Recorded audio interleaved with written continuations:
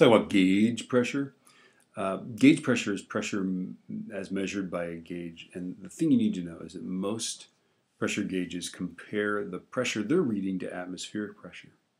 So if they read zero, that just means it's zero more or less than an atmosphere. If it reads a positive number, that means it's more than an atmosphere. And if a gauge reads negative pressure, then it means that the pressure it's reading is less than an atmosphere, right? So the room that we're in most likely is at zero gauge pressure. That is, it's at one atmosphere more or less, right?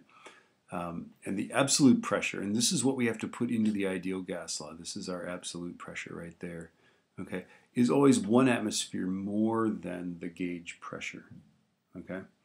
So, and then you also need to know what an atmosphere is in all of those units, right? Okay.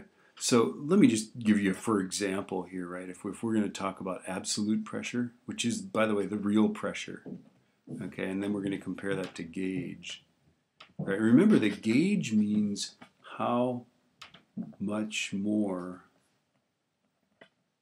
than an atmosphere.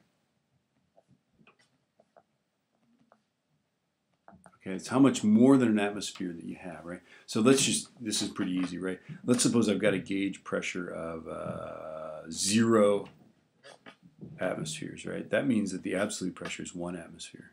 And that's because you said it's zero more than an atmosphere, so there you go, it's one atmosphere, right? Okay, if you have a gauge pressure of uh, two atmospheres, the real pressure, the absolute pressure, is three atmospheres. So that's pretty easy. If you're in atmospheres, it's pretty easy, right? What if it's um, what if your gauge pressure, you inflate the tires of your car to 32 psi? Well, that's this is like higher math, right? That means it's 32 psi more than an atmosphere, and an atmosphere is 14.7, right? So 32 plus 14.7. This is higher math, right? It's uh, is that right? Yeah, it's 46.7, right?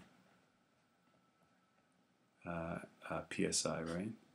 Okay, so you add, this is what we're doing, is we're adding an atmosphere to the gauge pressure to get the absolute pressure, right? Okay. What if I've got um, a gauge pressure of, uh, what, what if I've got an um, absolute pressure of, um, of uh, uh, 20 psi? Right, what would be the gauge pressure? Well, how much more than an atmosphere is 20 psi? Well, 20 minus, this is like higher math, I can't do it in my head, right? 20 minus, uh, 14.7 is 5.3 more than, right? Right? So that's your gauge pressure. It's 5.3 more than 14.7, so that's the gauge pressure. Okay? What you need to know is that, that in the world, almost all pressures that people give you are gauge pressures when you're doing calculations with pressure, you almost always want absolute pressure. There are some exceptions, but you know, there we have it, right? Let's do, let's do an example here.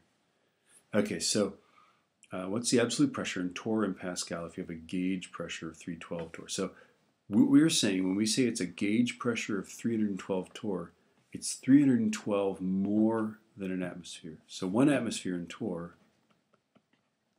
is 760 torr, right? This pressure is 312 more than that, right? Yeah? Right? So that is your, that's torr, that's your absolute. And then, of course, uh, we want to turn the answer into pascals, which is easy. We go 1072 torr, right, divided by 760 torr per atmosphere. All right, and then uh, what do we do? We multiply that. We want to turn it into Pascal, so that's 1.013 times 10 to the fifth. So this is a, this is how many atmospheres it is multiplied by this is uh, pascals per atmosphere, right? Okay, so 1072 divided by 760 multiplied by 1.013 e to the fifth and my number is 1. It's a lot, a very lot of numbers. 142, 886, 0.3. Okay, so let's see, we got 1, 2, 3, 4, 5. So 1.43 times 10 to the fifth pascals. Yay.